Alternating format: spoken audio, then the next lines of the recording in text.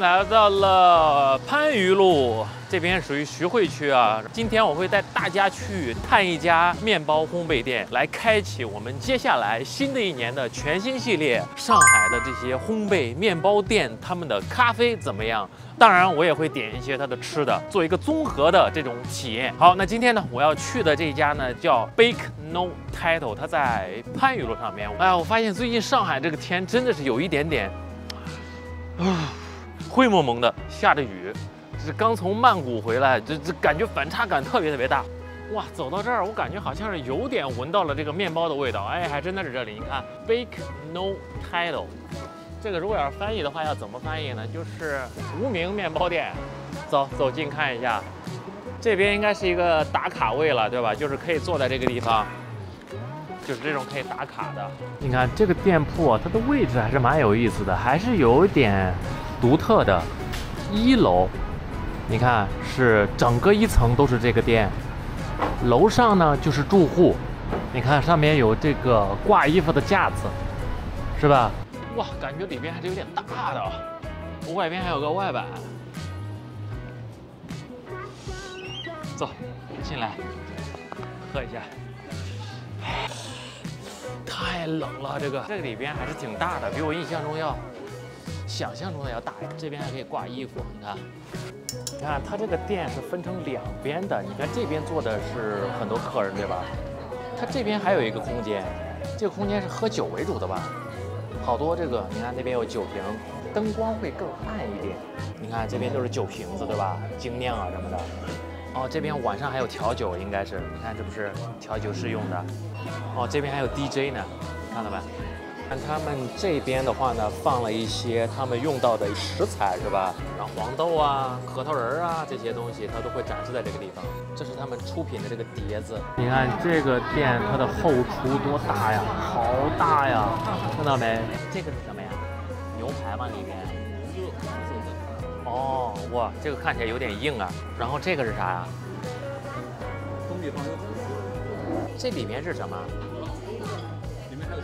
哇哦，看起来很不错的样子。看到贝果我就有点走不动了，因为虽然说我天天吃，但是我还是想吃乳酪贝果、海盐黄油、烟熏腊肠。有没有推荐的贝果啊？贝果我们就做了这三款。啊。如果你喜欢吃辣的、咸的，这个。嗯。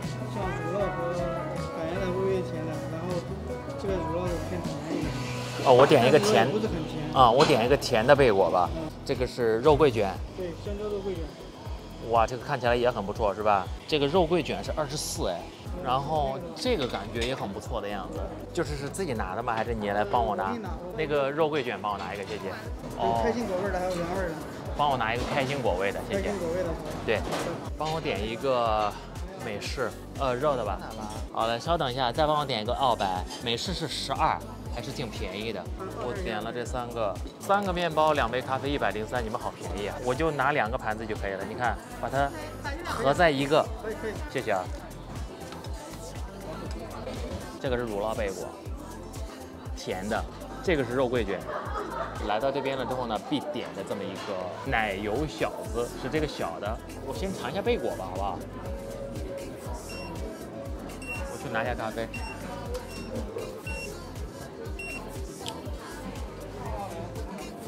好谢谢。它这贝果呢，就是在捏的时候，它的外边它是有点硬壳的这种感觉，但是里边是软的。先咬一口，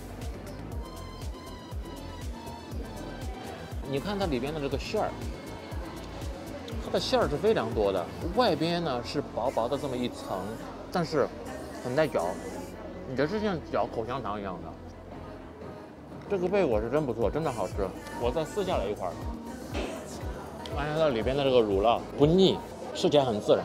嗯，出品相当可以。来的话，这个贝果我觉得是必点的一个，因为它不贵，真的不贵。乳酪的才十八块钱。肉桂卷，你看它做的是有点这种已经能撕开了这种感觉。我吃肉桂卷不是特别多，所以说不是特别专业。有一点点的硬，吃起来不松软，不是特别的惊艳。我再吃一下里边的这层，尝一下里边的，里边吃起来还是。挺酥软的，这个是叫 Maritoso，我不知道你们有没有吃过啊？这个我点的是开心果的这个，外边有开心果仁儿，看到了吧？把它掰开了。我吃下边这个，你先尝一下它里边的奶油，里边也是加了开心果泥的。哇哦，这个是真不错，太好吃了，这个绝了，这个。这个是我这三个里边点的最贵的，这个 Maritoso 的奶油小子是二十五，啊，我觉得它的贵可能贵到了开心果的果碎和它里边的奶油这两个是比较贵的，它外边的面包其实是比较便宜的。就比如像它这里边，虽然说大家来不是主要喝咖啡的，但是只要吃面包了，你怎么会不点点喝的，对不对？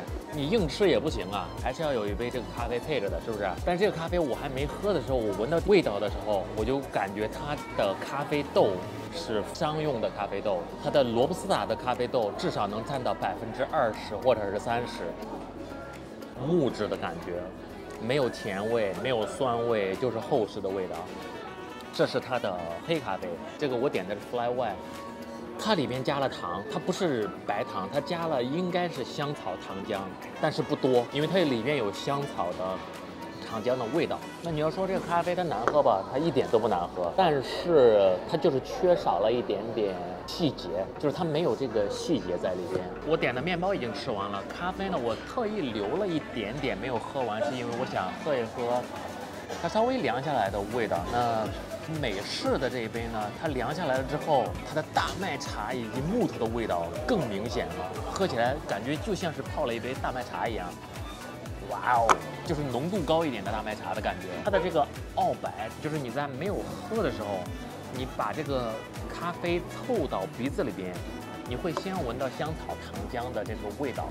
但是呢，它不是特别特别甜，微微的有一点甜感。像它这个咖啡豆的话，其实是可以改进一下的。就比如，如果它那个美丽塔的那个咖啡机放我们的那个滇山牛子的咖啡豆放进去之后，它萃出来的咖啡绝对会非常非常的耐喝。这就是我对这个它的咖啡的总结吧。那今天视频就到这里，我们下个视频再见，拜拜。